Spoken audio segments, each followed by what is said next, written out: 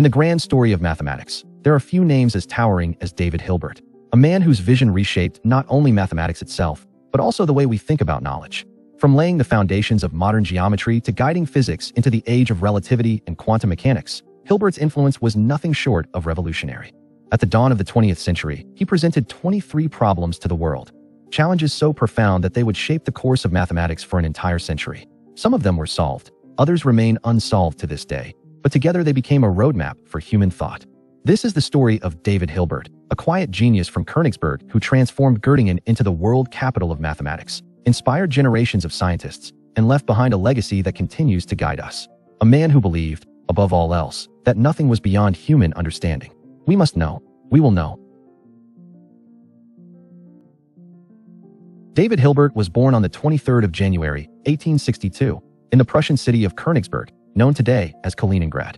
His father, Otto Hilbert, was a respected court official, while his mother, Maria Therese, came from a family with a love for culture and learning. From an early age, David showed a quiet but sharp curiosity, the kind of mind always searching for patterns and order. In 1880, at just 18 years old, Hilbert entered the University of Königsberg, a place with a proud tradition in mathematics. There he met two men who would shape his early life and career. Adolf Hurwitz, a brilliant mathematician who introduced him to advanced ideas in analysis and geometry, and Hermann Minkowski, who would later become famous for the concept of spacetime and relativity. The three formed a lifelong friendship, exchanging ideas that would ripple across mathematics and physics for decades. Hilbert completed his doctorate in 1885 under Ferdinand von Lindemann, the man who had famously proved that pi is a transcendental number. His thesis focused on algebraic number theory, a subject that, even in his earliest work, carried the hallmark of Hilbert's style, clarity, generality, and a bold willingness to redefine the rules of the game. By the time he earned his doctorate, Hilbert had already begun to display the traits that would make him one of the greatest minds of his era, a relentless drive to find elegance in complexity, and a belief that every problem could be solved with the right approach. In the mid-1890s, Hilbert's growing reputation as a mathematician led him to a new home, the University of Göttingen. At the time, Göttingen was emerging as one of Europe's intellectual powerhouses, and Hilbert's arrival in 1895 would cement its place as the world capital of mathematics. Here, Hilbert found himself in a vibrant community led by Felix Klein, a master of unifying different branches of mathematics, and joined once more by his close friend Hermann Minkowski. Surrounded by such minds, Hilbert's creativity flourished. He was no longer the promising student of Königsberg. He was now a leader in his own right. During his first years in Göttingen, Hilbert's research began to expand beyond number theory. He developed new insights in invariant theory and algebraic geometry, producing results that set the tone for his lifelong style, abstract yet universal, always seeking the deepest structure beneath the surface of mathematics. His lectures quickly gained fame for their clarity and elegance. Students marveled at the way he could strip away complexity to reveal the pure logic underneath. Hilbert wasn't simply teaching mathematics. He was training a new generation to think differently, to value precision and beauty in equal measure. By the turn of the century, Hilbert had firmly established himself as one of Europe's leading mathematicians. His bold vision for the future of mathematics was about to be revealed to the world, most famously, in a set of problems that would shape an entire century. As the new century began, Hilbert's work reached a new level of influence. In 1899, he published Foundations of Geometry, a book that redefined the very way mathematicians approach their subject. By replacing intuition with strict axioms, Hilbert showed that entire systems of thought could be rebuilt from clear, logical rules. It was a bold departure from tradition, and it set the standard for modern mathematics. His vision of mathematics as a universal, axiomatic discipline soon spilled into other fields.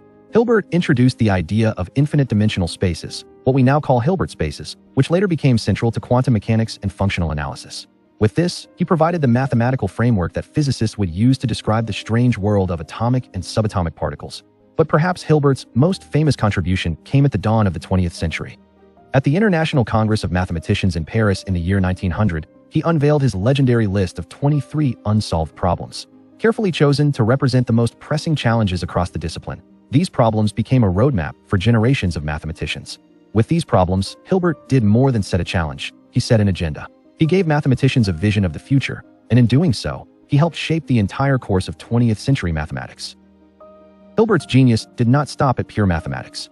He believed that the deepest laws of the universe could, and should, be expressed through mathematics, and in doing so, he played a decisive role in shaping modern physics. In November 1915, as Albert Einstein was racing to complete his general theory of relativity, Hilbert independently derived the same field equations using his command of the calculus of variations. The two men exchanged letters during this dramatic period, each pushing the other forward. While Einstein's physical insight gave relativity its meaning, Hilbert's formulation gave it a rigorous mathematical foundation. Beyond relativity, Hilbert also sought to bring order to the new and rapidly developing field of atomic physics. He collaborated with physicists like Max Born to formalize the mathematics of quantum theory, aiming to provide the same kind of clarity and precision he had brought to geometry. For Hilbert, there was no boundary between mathematics and physics. To him, Physics was simply another domain where mathematics could reveal hidden truths. His contributions ensured that physicists had the language they needed to describe both the vast curvature of spacetime and the mysterious behavior of the atom. By the early 20th century, Hilbert had turned Göttingen into more than just a university. It had become the world's mathematical capital. Under his leadership, the city drew brilliant young minds from across the globe, eager to be part of this intellectual revolution. Hilbert was not working alone. Together with colleagues like Felix Klein, he built a research culture where collaboration flourished and new fields of mathematics could take root. Göttingen quickly became a magnet for talent, attracting some of the brightest students of the era. Among them was Emmy Noether, whose pioneering work in algebra and physics would reshape modern science. Hermann Weyl, who made profound contributions to group theory, relativity, and quantum mechanics. And John von Neumann, whose work laid the foundations for quantum theory, game theory, and computer science. All of them, in different ways, were shaped by their time in Göttingen and by Hilbert's vision. The Göttingen School was more than a collection of individuals, it was a movement. It embodied Hilbert's belief in the universality of mathematics and his confidence that every great problem could eventually be solved. Under his influence, Göttingen became the model for the modern mathematical research center, blending teaching, collaboration, and groundbreaking discovery. By the end of the 1920s, Hilbert stood at the peak of his fame. He had inspired a generation, reshaped mathematics, and set the agenda for the century. Yet the final chapter of his life would bring both intellectual and personal challenges. One of the deepest blows came not from politics, but from within mathematics itself. Hilbert's great ambition had been to place the entire subject on unshakable logical foundations, a project that became known as Hilbert's program. But in 1931, a young logician named Kurt Gödel published his incompleteness theorems, proving that within any sufficiently powerful mathematical system, there would always be true statements that could not be proven. Hilbert's dream of absolute certainty had been dealt a fatal blow. Still, true to his nature, he refused to despair. He continued to believe in the power of reason, famously declaring, For us there is no ignorabimus. There is no we shall not know.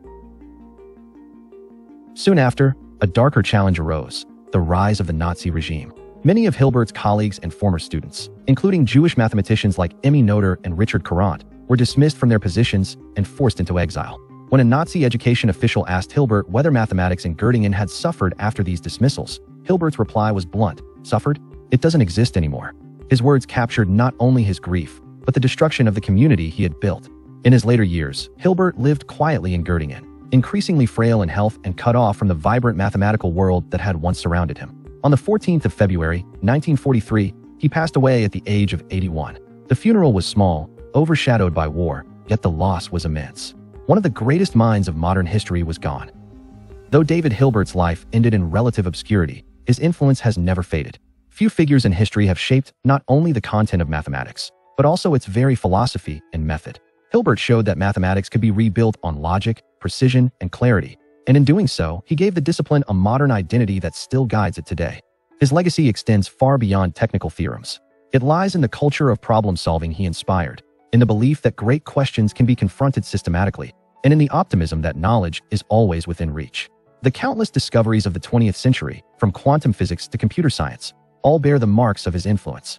And yet, perhaps Hilbert is remembered most not for any single result, but for the spirit with which he approached knowledge. His final words, inscribed on his tombstone in Göttingen, captured this spirit perfectly. Wir müssen wissen. Wir werden wissen. We must know. We will know. It is this conviction that no problem is beyond human understanding that ensures Hilbert's place among the greatest thinkers of all time. His vision continues to inspire mathematicians, scientists, and dreamers, reminding us that the pursuit of truth is a journey without end. David Hilbert's journey took him from a small city in Prussia to the very center of the mathematical universe. He built schools of thought, guided entire generations of scientists, and left behind ideas that continue to shape the world of mathematics and physics today. His story is a reminder that true genius is not only about solving problems, but also about asking the questions that will define the future.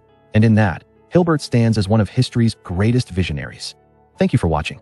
If you enjoyed this biography, please like the video and share it with others who love history and science. Don't forget to subscribe for more stories of legendary figures, and let us know in the comments which mathematician or scientist you'd like us to cover next.